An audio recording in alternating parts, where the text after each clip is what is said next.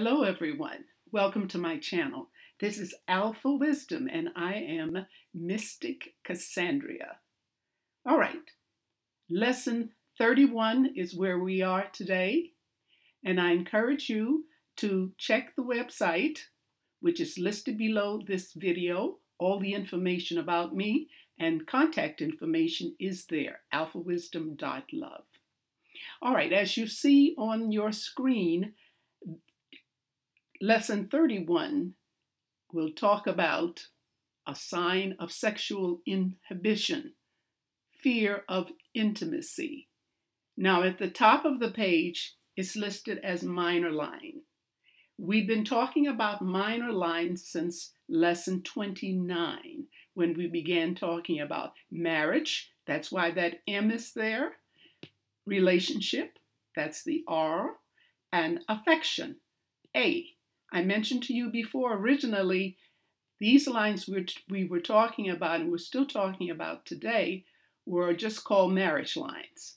But life experiences has evolved us to a point that we may not get married, but we will have a relationship and we will show affection. Well, these lines are used, names rather, are used interchangeably. All right, the last time we we're talking about the marriage line, you've learned that it could be straight, well defined, or thin. Also, when we mentioned the divorce line, the line starts straight, but it dips down to touch the heart line. Now, there is a line that rises up toward the little finger. So that's where we get in here today. Okay? Now, with this little finger, you know, it involves communication. Planetary name is Mercury. And the communication is just not standing before someone to speak of whatever language you're speaking or a desire to learn another language. The languages involves sexual communication. All right? So here's where we are today. That's why that sexual is there. It is a sign when you see that line rising up, it starts straight and it curves up toward the little finger. It's a sign of inhibition about sexual experiences or the fear of intimacy. Now, this happens after a series of relationships, which may cause the person to withdraw. And if this withdrawal continues over a period, it could be months, it could be years, this sign will start to show on the palm. Okay? Often people with this sign may stay outside sexual relationships for a long period. That's where this time period, of maybe years, may come in. They don't want to be bothered. It could be an experience, doesn't matter what it was, the person felt that it was enough to pull them away from sexual experience. That happens. I want to also point out that these lines are not permanent when they deviate from the norm there will always be some kind of marriage relationship or affection line. But for it to dip down or rise up, that only happens in circumstances where the person is involved in one of the experiences as defined here. Okay? So if you're looking in your palm, I hope you do because it's always very important to take a look at your palm and see if this relates to you.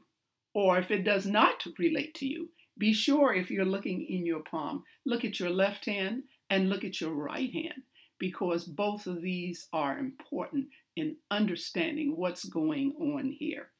Okay? Now, if the sign comes, and let's say you run into these experiences in a few years, one of these and today you don't see that sign.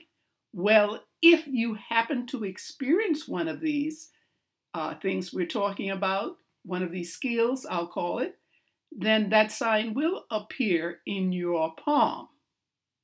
Once everything is cleared up, you'll find that that sign will disappear. Many times when the sign is there, it disappears as quickly as within one week, or it could be one month. So we can say that minor lines are not permanent. They're there for a specific reason. Okay? Now, when we look at both hands and we understand which hand is considered the passive hand, that's the hand you don't write with or don't automatically go to when you are um, picking up a pen or just doing some kind of manual work. It's an intuitive thing, automatic, to use the stronger of the two hands. And the other hand, the hand that's considered strong, is called the active hand. And the other hand is called the inactive hand or the passive hand. So either one of these works. So once you decide, then you could see in the passive hand the potential of what is to happen in your life. Your active hand tells what you've done about it, how you have completed or activated any of these. Sometimes none of them are. It's your choice what happens. Okay, but this happens to some people, not everyone. I can't give you a percentage, but I would say it certainly doesn't compare with the average person. Okay? So that's what we have for sexual inhibition, fear of intimacy. Okay, we'll end at this point.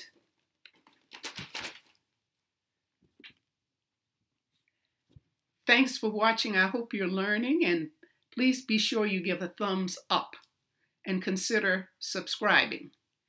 Thanks for watching. I want to say we're going to continue with lesson 32 on another minor sign. Stay tuned and stay safe. It's almost over. Bye.